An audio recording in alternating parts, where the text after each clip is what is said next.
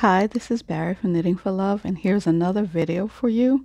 Um, I did this video a couple of times over trying to get my sound correct, and, and just want to make sure that um, you guys can hear me because in some of my other comments on some of my videos, my voice is very soft spoken. So basically, I needed to uh, get a better mic that would pick up the sound of my voice better um, so you can hear me. So, um, this, what you see here, is an actual sweater that I have finished. I just got to weave in some edges. This is the bottom of the sweater. It's very lacy. It's very holy, very stretchy, very forgiving. So, and it's very multicolored. It's an oversized sweater. This sweater will be, it's actually a finished sweater. So there's the sleeves. Um, but I'm going to show you how to do this stitch right here. And it, it's, it's, a beginner can do this stitch. Um, and it doesn't take much to do. All you have to know is how to knit, yarn over, and knit two together and purl. That's it. That's all you need to know. And those are beginner stitches, so let's get started. So I've got a little needles here and I've got some yarn. So I'm going to cast on about 10 stitches or 12 stitches. And I'm going to knit about four rows on both sides to give you the garter stitch, which is the ribbing. And it's not a very tight ribbon because this is an oversized sweater. So I wanted it to fall nicely. I just wanted to drape, so I don't have much of a rim. So, but that's my preference um, for this particular sweater.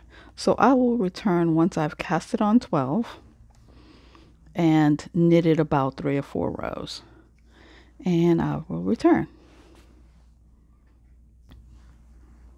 Okay, I have returned and I've actually casted on 14 stitches. And uh, the reason being is this pattern is a four row repeat and I like to have some kind of border to sew things together with so I leave two stitches in the front and two stitches on each end um, just to give me something to work as an edging uh, for the sweater. I'll show you the edge of the sweater in a second. Let me show you this. Is you can hardly see my seam but you don't see a bunch of rows of straight knit because I use that to actually sew the sweater up with. So you actually have holes going connecting from one side to the other. Um, so yeah. So that's why I cast on two, 14, excuse me, cast on 14 stitches, leaving two on each end, uh, just as, as a pattern holder an edge to give me something to sew with. So, four row repeat, row one, you're going to knit two together. I'm not sorry, knit two together. You're going to knit the first two. Wow, I'm tongue tied today with these. So I'm going to knit the first two and then I'm going to yarn over, knit the next two together and I'm going to repeat that across the row. Yarn over again. Knit two together. So basically I am creating a hole and taking and decreasing. So I'm increasing and decreasing. So this is an increase, yarn over, and knitting two together is a decrease. So I'm going to keep going. Yarn over, knit two together. Yarn over, knit two together.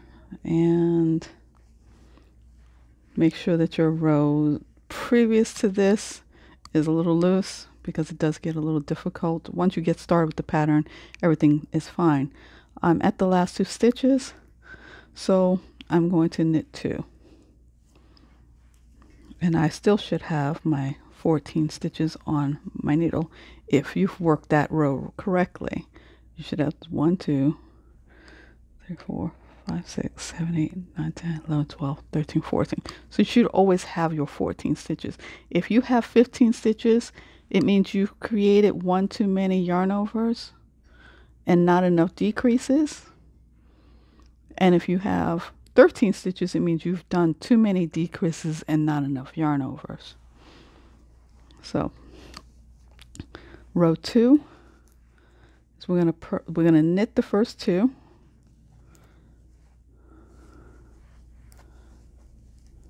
And then we're gonna purl all the way across. So we're gonna bring our yarn into the purl position and we're going to purl all the way across to the last two stitches. So we're always leaving those first and last stitch, two stitches to work differently. So only the body of the item we're working on has got the true pattern.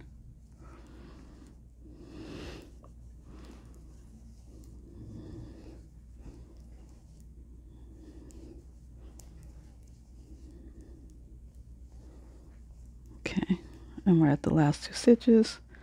Bring my yarn forward, back into the knit position, and we're going to knit the last two. Now, we're on row three. So as you can tell, we're actually formed a few holes. So row three, different from row one, we're going to knit this the first two always. Now, if you can see, row one, we had a hole. We created that hole. And we have one little line here. We actually need two lines here. So we're not going to knit, uh, uh, we're not going to create a yarn over like we did here before. What we're going to do now, row three, is we're going to knit the, the, neck, the first two together and then yarn over behind it and then we're going to do knit two together. Yarn over behind it. So we're just doing the opposite of what we did in row one is yarn overing after the decrease instead of before it. Now we're at the last two and this is where most people might get a little confused. You still need to yarn over because we yarned over after the first knit two. So if you ever get lost in your rows, look back, see your first two stitches. If this looks like a knit stitch, it means you knitted two together and then you yarned over. And in that case, you're going to make sure you yarn over here. So just in case you forget your rows. So then you're going to knit one and knit two.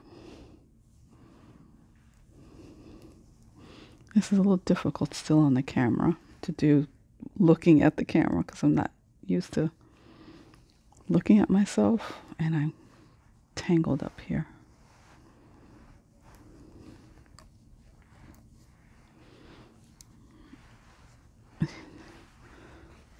Almost making a mess of things.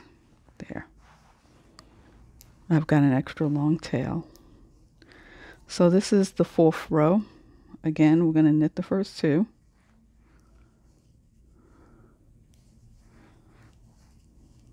And we're going to bring our yarn into purl position and purl until we reach the last two.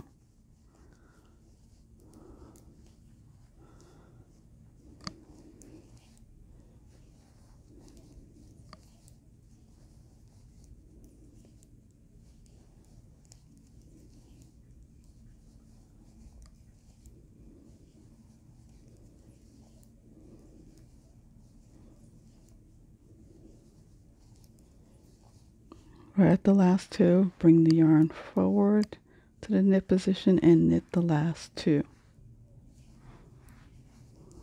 And turn our work. Now you see it's starting to form. And we can knit another row, knit another set so you can see. So the first two stitches again, we're going to knit the first two.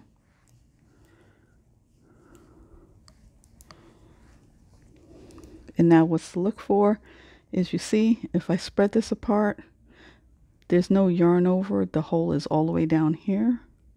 And then there's a hole uh, next across from it. That means you're going to yarn over here. So if you ever forget what row you're on, just look at your first set of stitches. If this looks solid to you, like there's one and two stitches, two sets of braids in between the stitches, then that means you have to yarn over first. So this is a yarn over.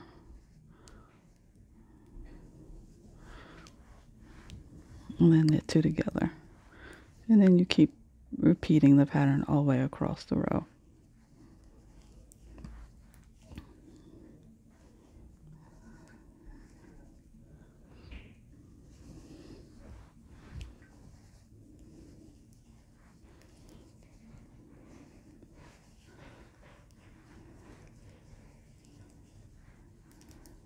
And we're at our last two.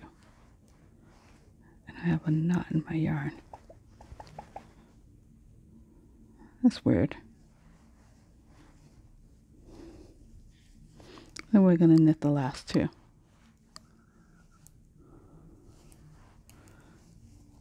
we're going to turn. And the even rows, you're always going to purl. So you're going to knit the first two and try to knit the, the, the purl wise, try to purl loose. That way knitting two together on the other side won't be as difficult for you. Ooh. So we're going to purl across until we get to the last two. So we're on row two.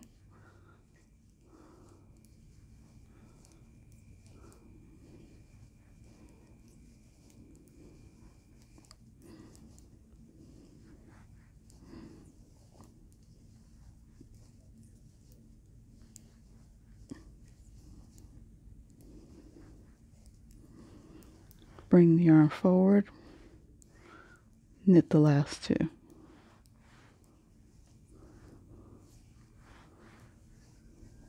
Turn our work. As you can see, it's starting to form. I happen to like this pattern with a variegated yarn. It makes the it look really, really nice when it's not a solid color. I'm not very much of a pink individual, but I like my sweater and this is row three. So I'm going to knit the first two. Again, if you don't know where you left off, if you look, you see a hole, only one bar going across that's twisted here. That means you're going to have to knit two together. So you're going to knit two together, yarn over. And you're going to repeat this all the way to the end until you get to the last two stitches.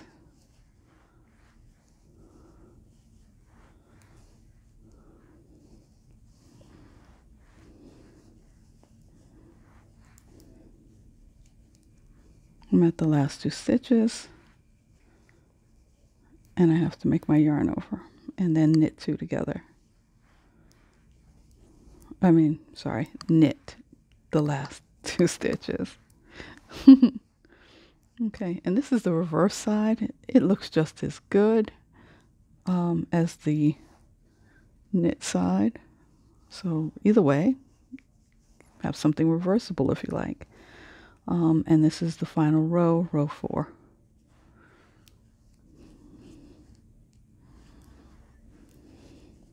Just knit the first two, bring into the purl position, and purl across to the last two.